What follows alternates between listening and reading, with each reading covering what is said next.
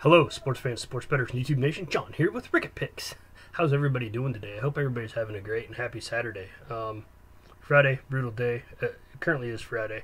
Still got one game out there. Uh, just got tied up one to one. So hoping that one pulls through to make it, uh, you know, just a small losing day instead of, you know, a bigger one.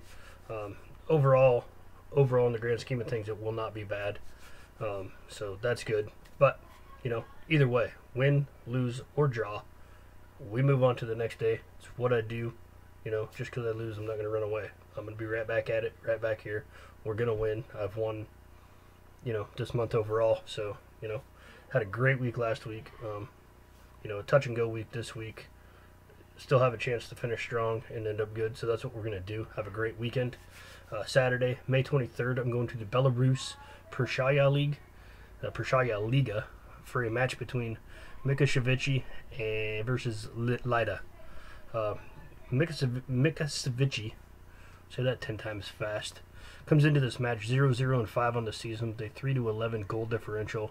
Their last match was a loss to Orsha 2 to 1 on the road. At home this season, Mikavici has played two matches. Uh, they lost 1 to nothing to Volna Pinsk, and they lost 2 to 1 to Arsenal uh, Derizhinsk. Another edition of John Butcher soccer team names. That is uh, uh, Arsenal. Obviously, you can say that, but D Z Y A R Z H Y N S K. That name. Uh, but Lida comes into this match uh, 2 1 and 2 on the season with a 9 to 6 goal differential. They score quite a bit more than Mikashevichi. They are coming off uh, into this match off of a 3 to 1 win over Osh Miami on the road this season, Lida is 0 1 and 2 with a 3 to 5 goal differential. Um, so most of these teams do not play good on the road.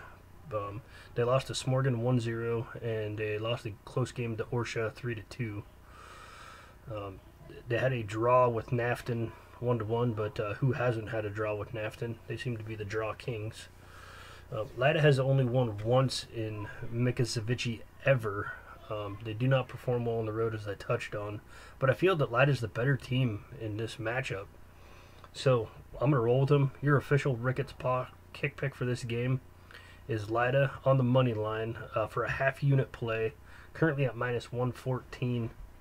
Um, I think their spread is their uh, half a goal, so I don't, you know, hmm, really don't want to take that. If it was a pick, I might take that, but you know, the minus half, might as well take the money line if I feel they're going to win. So, and I feel they're going to win. So, we're going to roll with that, minus 114. If you guys have not already, hit that subscribe button, tap the bell, turn notifications on. As always, leave comments below.